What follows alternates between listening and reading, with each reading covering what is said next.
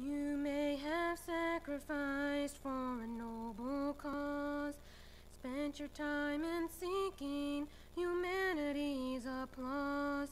Others have made long journeys to strange and distant lands, all searching for the answers in the heart of man. I too have tried in vain to be good enough for him, not knowing I could never make the payment for my sin. But God in heaven came to me and used the Spirit's sword. He answered all my questions in His word. Nothing but the blood for me to take away my sin. I kneel beneath the fountain that cleanses deep within. Nothing but the blood for me, the past erasing flood of justice and mercy, found in nothing but the blood. My heart and is yielded to his call, my soul has found its wings. My mind is drinking in the peace that knowing Jesus brings. Still many grope in emptiness, a place I live so long.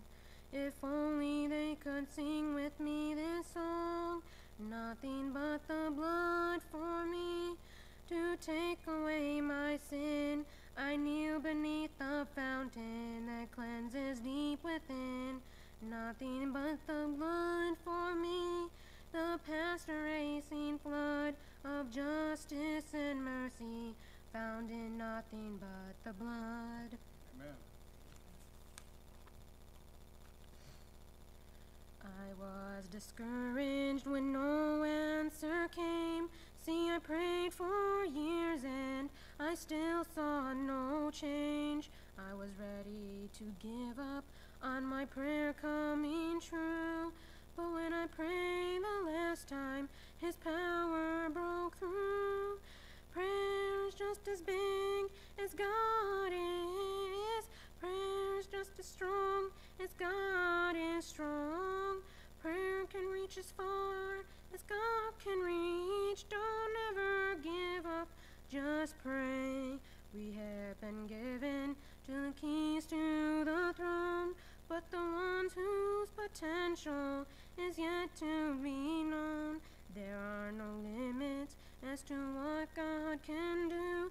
So just keep on praying, He's listening to you. Prayer is just as big as God is. Prayer is just as strong as God is strong. Prayer can reach as far as God can reach. Don't ever give up, just pray. Don't ever give up, just pray. Amen.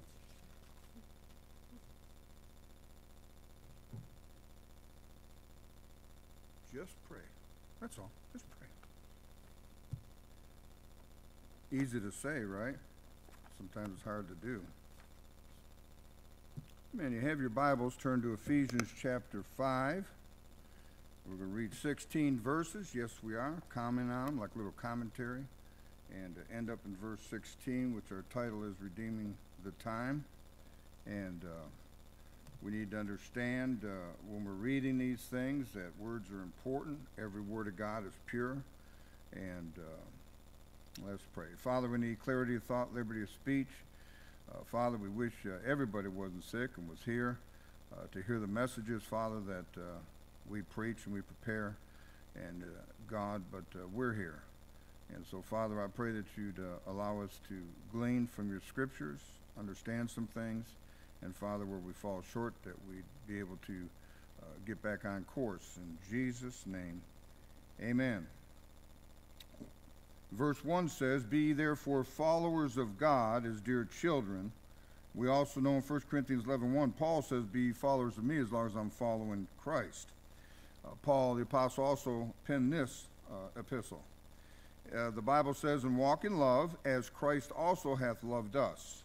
And so the definition of uh, the love that it says walk in the love is the love that Christ also hath loved us. When he said, Forgive them, Father, for they know not what they do. That type of, type of a thing is uh, what we're talking about.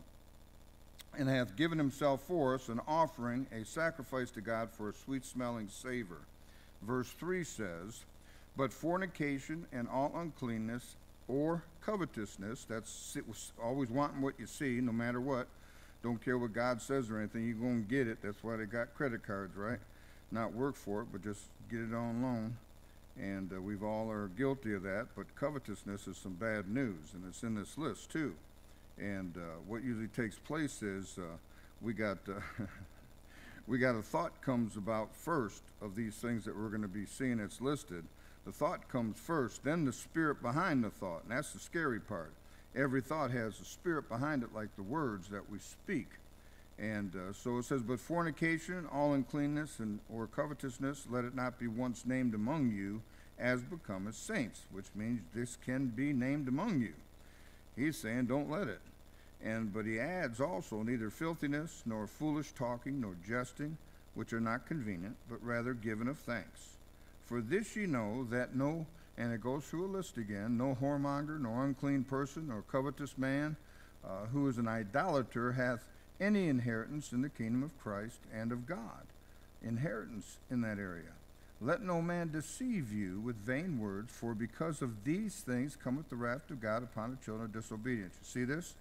So that verse 5, all those things that we just listed right there, these are, are what uh, causes the wrath of God to come upon the children of disobedience. And the children of disobedience are the, are the devil's kids.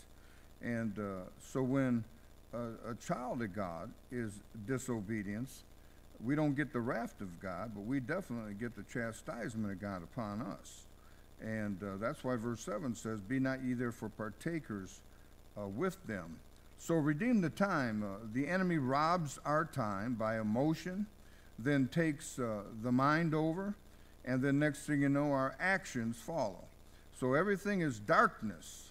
Everything in the scripture right now, so far that we're reading, is talking about the darkness side, right? Not the light.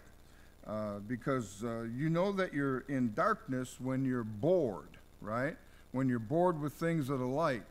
Uh, something has captured your mind, something uh, you you got expectations of something else, and when you hear the Word of God, you hear things about the Word of God. That's light light. And people that are supposed to be saved, and, and all of a sudden it's, it's boring to them to hear something preach. And, well, it's not lively, it's not this or that. Well, you're supposed to give attendance to reading, and you're supposed to give attendance to the things of God. And God says, preach the word, be in season, out of season, rebuke, and all those things uh, that are taking place. That's just part of our makeup as Christians, is to be disciplined enough to be able to take the word of God. If it's boring, it's because it's not interesting to you. Uh, therefore, what would make it interesting? Some lights, maybe, drums, music, and all this kind of stuff, all these trappings. And uh, that's not the way it goes. Uh, what God says goes, period. If it's boring to you, you need to get right with God. Uh, I'm telling you, uh, there's a lot of things that we've read already that would stop us and destroy us and keep us in darkness. Uh, why? Because there's spirits with those thoughts and we allow them bad thoughts to go in there and take root, then next thing you know, our emotions are affected by them thoughts. And if our emotions are affected by our thoughts, we ain't thinking right at all. We're not thinking right. So we're going to have some problems. That's why Paul says, Be not therefore partakers with them, for ye were sometimes darkness, but now are ye light in the Lord. Walk as children of the light. Uh, for the fruit of the Spirit is in all goodness and righteousness and truth proving what is acceptable unto the Lord. Proving it. a lot of things we do, we may have questions about. So you go to scriptures, you talk to God, you say, Is this right? Maybe it's not mentioned in scripture. Maybe it's not a bad thing.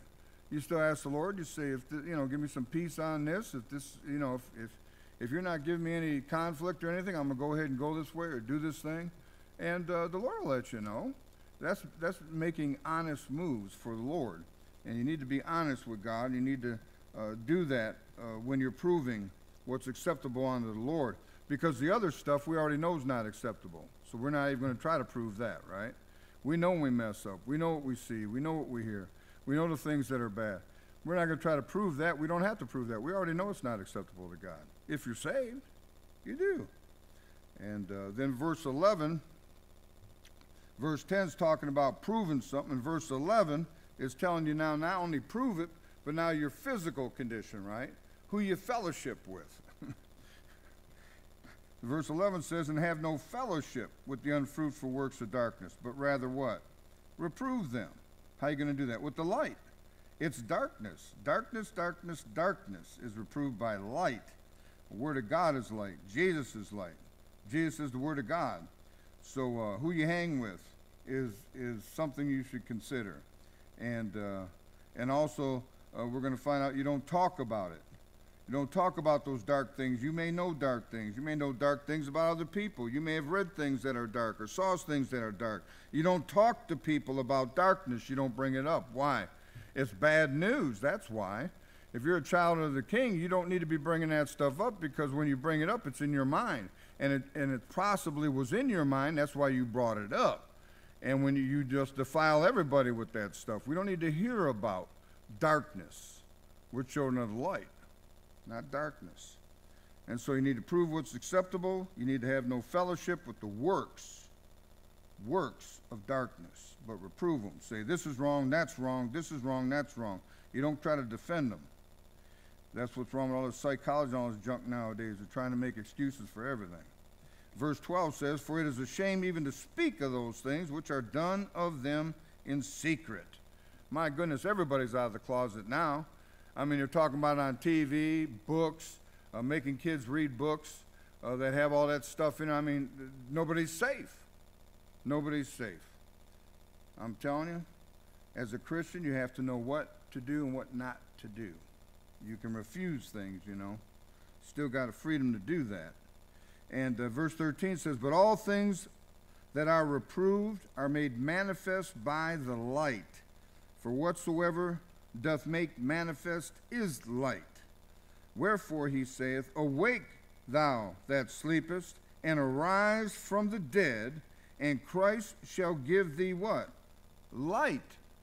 Talking to Christians, not talking about people that are lost, saying, Wake up, man, wake up. Christ will give you light on that thing. He'll, he'll put batteries in your flashlight, amen. You'll be able to see where you're at. It ought to scare you. You ought to want to get out of that. Christ also give you power to get out of those things. And uh, you got to have them.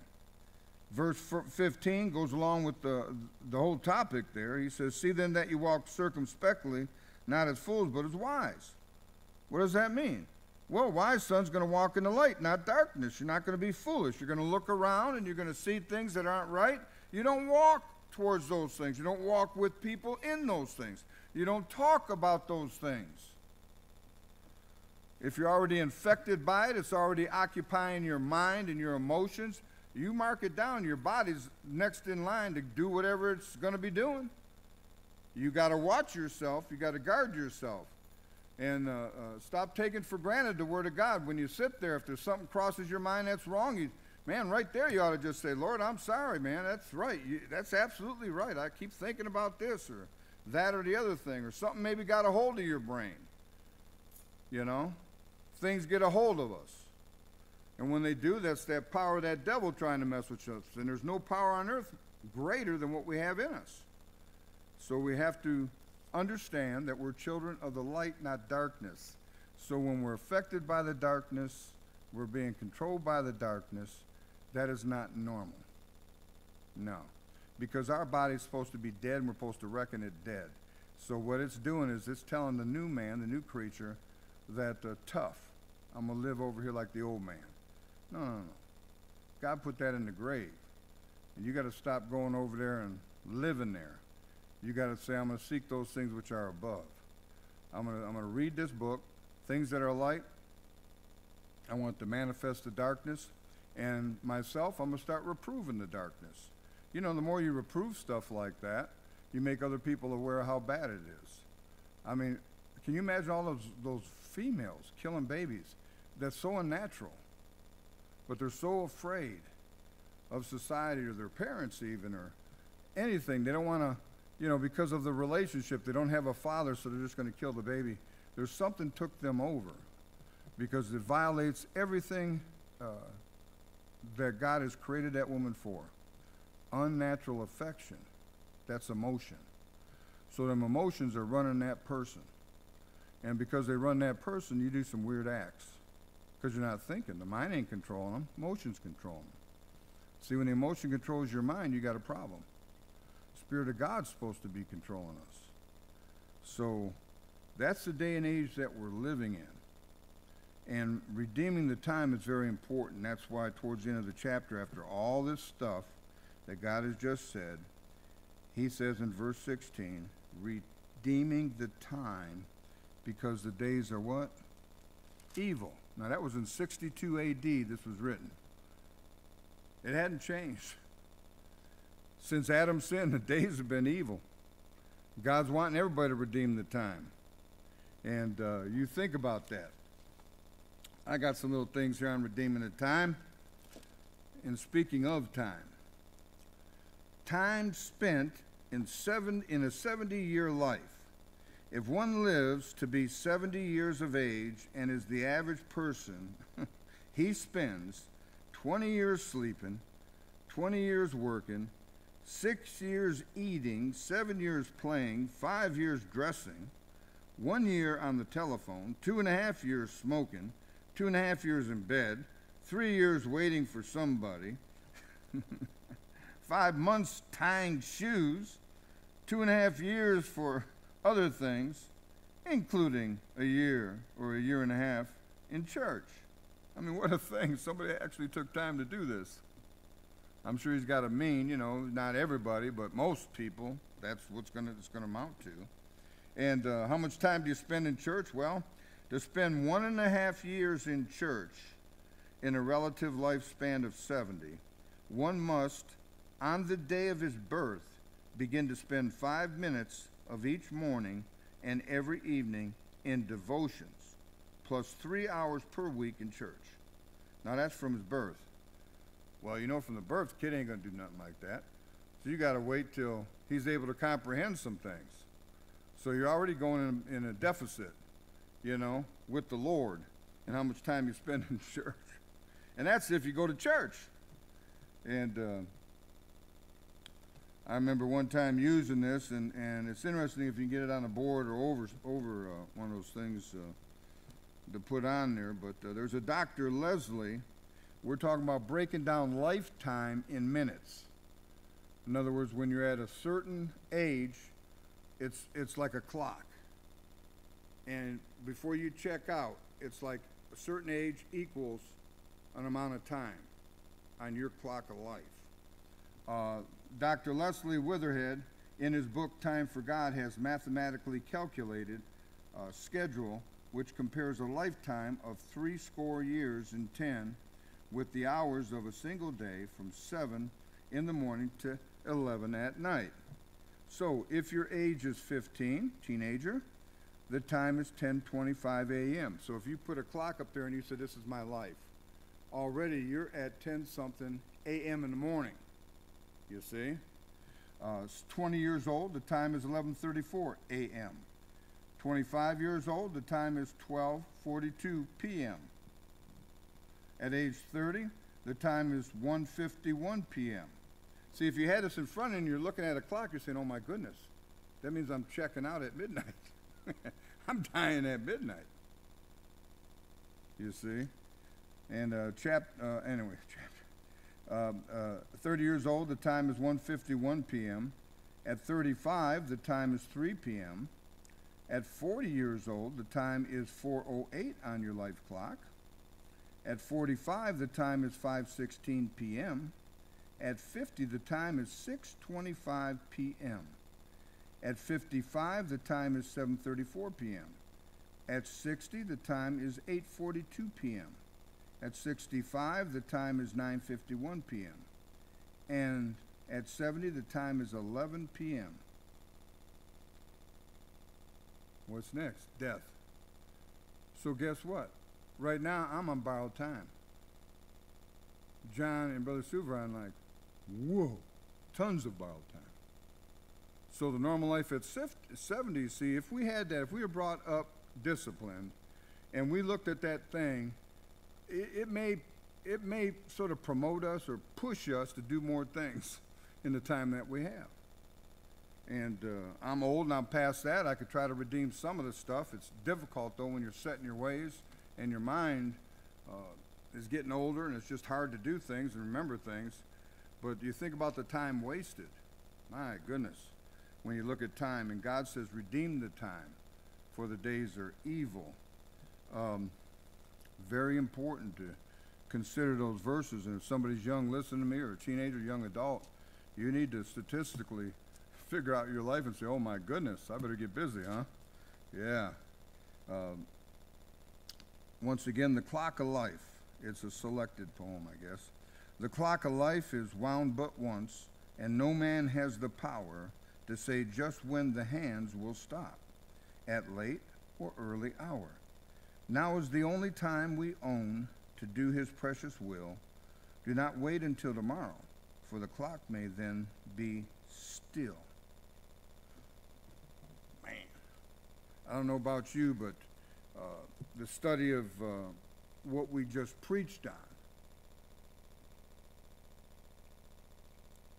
probably can take a few years just on that chapter alone and uh, delving into the sin, you know, with the covetousness and all these different things. And, and just by God saying walk circumspectly, to define that word, you know, is looking all around you and making sure you're doing the right thing. And you could go subpoint after subpoint in the Word of God with Scripture uh, that tells you to put on Christ, take off Christ, be full of the Holy Ghost. Uh, these verses that uh, that actually God is commanding us to do, not a suggestion, and we violated so many years of misplaced time that uh, I mean, you get under conviction just thinking about it. Uh, well, guess what? We, we don't have too much time for conviction. We need time of resolution. We need time to really, when you get up in the morning, think about talking to God, think about giving Him uh, some place in your life with reading Scripture, and increase reading the Scripture. And I told, I think it was John before, it doesn't matter how hard it is to read. You put your eyeballs on that page and let God, let God show you. You'd be amazed how God, because it's His Word, uh, He's invested in you. I mean, He died for you on Calvary. And uh, He wants you to know things. He wants to, to empower you. He wants to clean up your brain and stuff. And the Bible talks about the water the washing of the Word. Uh, we've got to have that. And so let God worry about what you understand and what you don't. I don't know how many times I read the scriptures, and I, I really try to. Uh, I don't know, I'm not that great of a grammarian, and I don't know about syllables a whole lot, but I, I try to somehow pronounce some of them Bible words. But every time I do, it's like different sounding. But uh, even when I listen to Scourby, he'll say it one way and somebody else will say it another way, and they'll argue over who's right, right? And I'll just say, well, God knows. I'll mention that name. He knows who it is. And we know that that character is in the story that we're preaching or teaching about. So there should be no confusion, just the mispronunciation of the name. But we nevertheless we do. We don't stop preaching because of that, or teaching, or learning, or reading the Bible just because we can't get a name down. Let me tell you, God's interested in, in what we're interested in. And if we're interested in Him, He'll let you know what He feels like and what He doesn't. That's why we go through so many things in our mind. I mean, I have all the scriptural answers, but applying them, we forget. We forget to just relax, calm down, and ask God for help. How do you redeem the time? God will show you. Or you just ask Him, say, God, make me, give me a sense I'm doing something wrong, like sin, if, if I'm wasting my time doing something. You know, if I'm wasting my time doing something. Uh, we talked about uh, prayer, and, and, a lot of times we think that, oh, it's just prayer. No, no, no, no, no. According to this Bible, it's powerful. So there's a whole lot of people today uh, elderly people, they know they can't do the certain things they used to do, so they get a, a prayer list. They get them a little pad, you know, paper, and they put down the names, like we do on Wednesday for our personal problems. Well, you just you get get a prayer list going somewhere. You know, check it twice or whatever. That's being faithful to God, praying for people. And you can actually don't tell people for some things. Maybe you're praying for them to clear up in their in their walk with God. And then when you see it clear up, you know that you have something to do with it. They don't, but you know. So it's between you and God that makes you happy. It's like Ronnie. You pray for him to get saved. You pray for John to get genuinely saved. I don't know how much Bible they know. They need to get born again and saved if they're not. and uh, you just pray and you wait. You pray how to do this or go there, or, you know, or, or you know, who you support. I mean, after all, this is just time. I mean, when Brother Suver, Brother John, or myself, or anybody, when we go to heaven, that's it. There ain't no more down here. There's no more down here. So it's what you've done here that's gonna that for Christ is what's gonna last. So if souls were important for God because God the Father sent his son, his son is the first missionary, right? To the world.